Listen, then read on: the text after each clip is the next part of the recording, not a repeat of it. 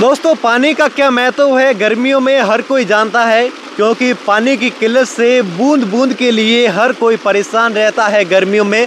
वह चाहे ग्रामीणों की बात करें या शहरों की बात करें, और इस वक्त आप जो झरने बहते हुए देख पा रहे होगे, ये सोच रहे होगे आपकी ये झरने आखिर कहाँ बह रहे हैं? झरने बाड़मेर में बह रहे हैं। बाड़मेर का जो डूंगर है, उसमें चल रहे बेणेश्वर नाडी है, उसमें ये पानी आ रहा है।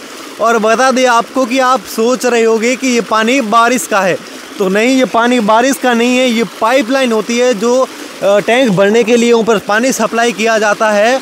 उस पाइपलाइन को, वो पाइपलाइन पूरी की पूरी है, जो फूट चुकी है, उसका पानी है जो बहकर वेणस और नाडी में आ रहा है। आप देख रहे होगे कि ऊपर से, वहाँ से वहाँ पाइपलाइन है और वहाँ से वो पाइपलाइन पूरी की पूरी टूट चुकी है और पूरी धरने के रूप में कई लीटर पानी है जो वेस्ट बह रहा है और इस नाडी में आ रहा है। और नाडी की बात करें तो आप सोच रहे होगी कि नाडी तो साफ़ होगी, नाडी में पानी आ रहा होगा, परंतु बता दें आपको कि नाडी पूरी की पूरी गंदी हो रखी है और इसमें जो भी पानी, पूरा का पूरा पानी आ रहा है, वो पूरा दूषित पानी है, इसमें इकट्ठा हो रहा है।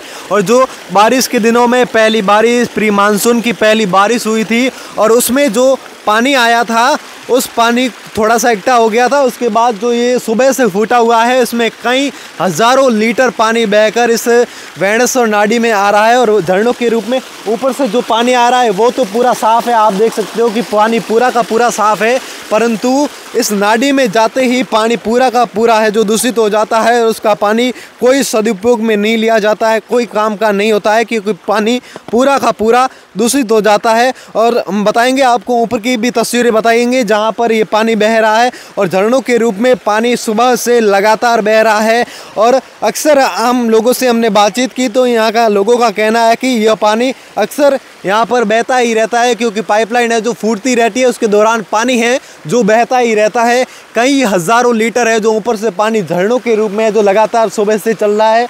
और इसमें जो आधा पानी है, वो तो बारिश से आया था, परंतु जो आधा पानी है, वह जो पाइपलाइन फूटी है, उस वजह से आ रहा है। झरनों के रूप में है जो लगातार सुबह से कई बच्चे हैं जो यहाँ से सुबह से बैठे हुए हैं। इन झरनों का लुप्त उठा रहे हैं, आप देख सकते हो। इससे बातचीत करेंगे। भैया, पानी सुबह से बह रहा है ऐसे ही?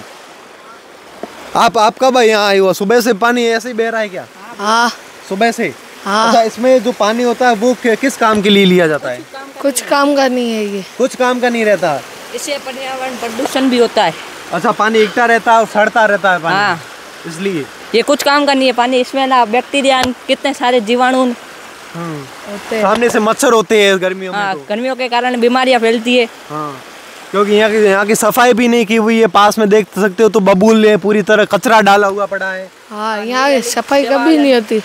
सफ़ाई कभी नहीं होती ना क्योंकि 2015-16 में इसका निर्माण कराया गया। मेरे हिसाब से उसके बाद अभी तक इसकी सफ़ाई कभी नहीं हुई होगी। नहीं हुई है अभी क्योंकि पूरी तरीके से कचरा कचरा ही कचरा डाला हुआ है। अगर इसकी साफ़ सफ़ाई समय पर की जाए तो यहाँ पर ये पानी सदुपयोग में लिया जा सकता है। पानी पूरा जीव जंतु भी आते हैं? हाँ छोटे छोटे बत्तखन छोटे छोटे आते हैं। परंतु यहाँ भेड़े बकरियाँ कोई नहीं आती। नहीं आती। क्योंकि यहाँ पहुँच ही नहीं सकती डूंगरों चारों तरफ़ कुत्ते आते हैं कुत्ते और बत्तख। हाँ। कौए वो बैठे कबूतर। हाँ ये तो आते ये झरनों की तरफ़ पानी बह रहा आप लुप्त उठाने के लिए आए थे। हाँ हम तो ना सुजेश्वर जा रहे थे। सुइजे से जा रहे थे बीच में झरना बहता हुआ देख लिया आपने हाँ, बारिश जैसे चलता है। हम्म, तो दोस्तों देखिए कि ये झरनों की तरफ़ पानी है जो सुबह से बह रहा है तो हम आपको अगली तस्वीरें बताएँगे जहाँ से वो पाइपलाइन फूटी है और हज़ारों लीटर पानी है जो वेस्ट बह रहा है जुड़े रहिए हमारे साथ।